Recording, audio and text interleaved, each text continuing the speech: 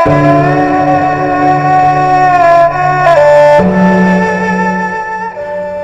នកខ្លះនោះមានទម្លាប់ជួយចិត្តតាមដានដឹងរឿងគេជីវិតផ្ទាល់ខ្លួនដីប្រពន្ធសង្សារមុខរបរចេះចោះបើទៅនិយាយហ្នឹងគឺថាព្រោះអូបែកអូហូស្ទឹងទៅ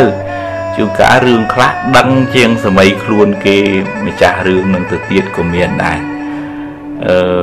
កាត់ស្មានខ្លះបន្ថែមបន្ថយខ្លះនិយាយនឹងដូចថាខ្លួនឯងនឹងដឹងសពដឹងគ្រប់ទៅអឺបើវាជាការរៀនសូត្រយកបទពិសោធន៍ដើម្បីអភិវឌ្ឍខ្លួនយើងអានឹងជារឿងល្អឯងគាត់ផឹងប្រែងមិនតស៊ូមិនបានគាត់បានជោគជ័យអញ្ចឹងអីចឹងតែនឹងជារឿងល្អ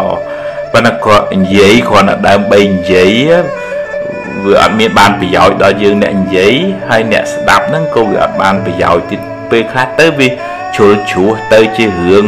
ពលឹះទៅជារឿងបកាច់បខូចបន្ថែមបន្ថយអីចឹងវាជារឿងបាបទៅវិញអឺ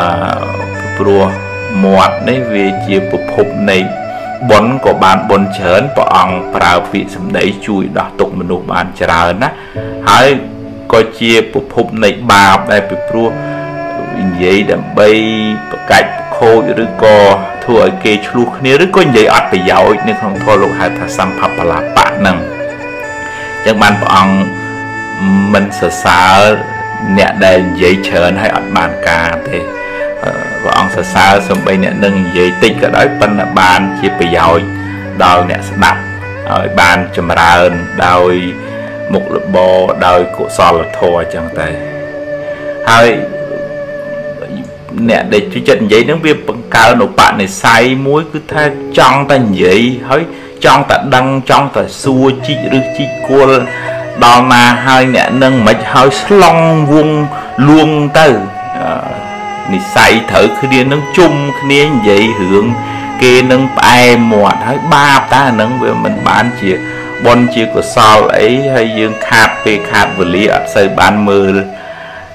មកខ្លួនឯងថាយើងត្រូវកែតម្រូវអីខ្លះយើងត្រូវអភិវឌ្ឍខ្លួនឯងអីខ្លះហេ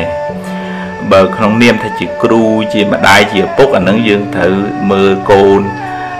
ខុសត្រូវស្ដីថាអញ្ចឹងអានឹងជាទូនាទីប៉ុន្តែក្នុងន័យនេះក៏មិនមែនអឺនិយាយដើម្បីគ្រាន់តែដើម្បីនិយាយទេគឺដើម្បីឲ្យបានមនុស្សនឹងល្អឡើងវិញអានឹងជារឿងអឺ ការណែនាំជាធម្មទេសនាអានឹងបានបនដល់អ្នកនិយាយវិញក្នុងចេតនាជួយគេបានល្អប៉ុន្តែបើគ្រាន់តែនិយាយដើម្បីឲ្យតែនិយាយទេអានឹងវាអត់ប្រយោជន៍ឲ្យបានបាបដល់អ្នកនិយាយនឹង